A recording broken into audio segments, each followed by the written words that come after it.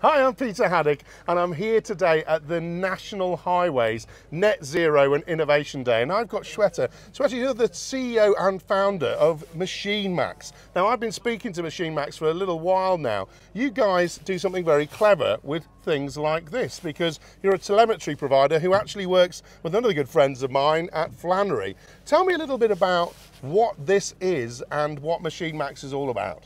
Uh, Peter, thanks for this. So, so this is a sensor which is completely wireless and it's a universal telematic device. So you can see that there are no wires coming out, right? Yep. So I just take it and just stick it next to the engine. That's it. Onboarding done. You are now Wow. connected. This machine is now connected. This uh, this has got a GPS chip in it. Yep. It has got a vibration uh, technology which which is powered by our machine learning al- algorithms, and it just captures what ma- the machine is doing and will tell you where your machines are and Yep. what they are doing, whether they are working, on, off, or idling. Right. And, and when you know what your machines are doing, then you can understand like you know utilization, what you can do with it. And you're working with Flannery and some other the big players at the moment. And I think what's really good about this is it's a simple piece of technology. We have a lot of this sort of technology that maybe an OEM will build into their equipment, but that's only relevant for their equipment. This is about this JCB here, bang, we're connected. Other other models, we've got some Volvo equipment behind us. Bang, they're connected. And so it, this is a complete industry solution, isn't it? And the data that we get, how where does that go? So that's pings up to your uh, cloud in the sky. What Yeah. happens? So it has a SIM card in it. it go, and the SIM card pushes it back to our cloud where we are doing the clever things which our engineers are doing and I'm taking the credit of it. But you know, that's what happens. So they are doing the clever things. And then we come to know uh, what the state of the machine is. Yeah. Now that, that data can be utilized like you were talking about net zero. Now when you know when the machine is idling, you would know how much fuel has been wasted and how much Yeah. emissions has gone into the atmosphere Yeah.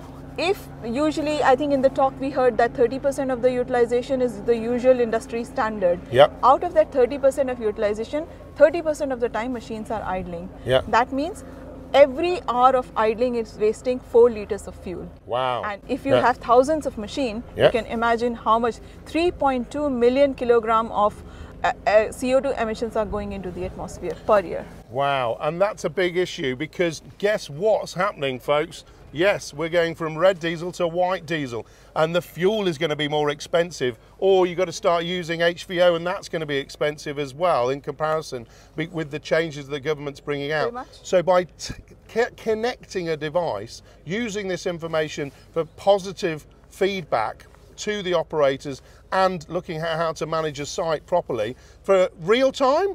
Is it happening in real It is time? real time. Real Oh, right. time. Okay, yeah. Every minute, every second, what your machine is doing is captured here, Yeah. and then it is pushed to the clouds and then presented it back. So you know by minute by minute what the data is powered. Like we are harnessing the power of data. So it's not about pulling data off the next week and going, why was that day so bad? Because we had a traffic jam of ADTs, because we had a breakdown in a in an excavator, for example.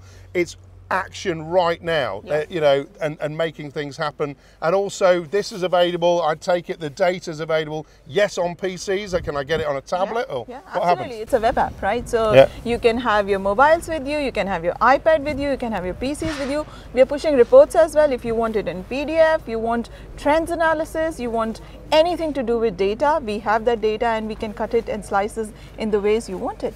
And that's the whole point for me. Data is king, they always say, but this device so so simple, but equally it's not about the data for data's sake. You need to turn data into interesting information that's usable and has an impact on the overall site, its efficiency and how you deliver it. And if we're going to get to net zero by 2050, there's a big job to do on data, isn't there? Exactly. Data, insights, action. And we Right. are making the things happen right now. We don't have to wait to 2050. Yeah. We are doing it things now.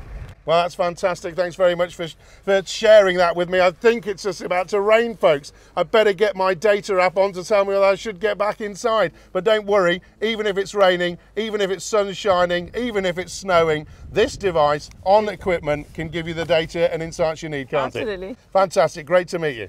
Cheers. Thanks, Peter.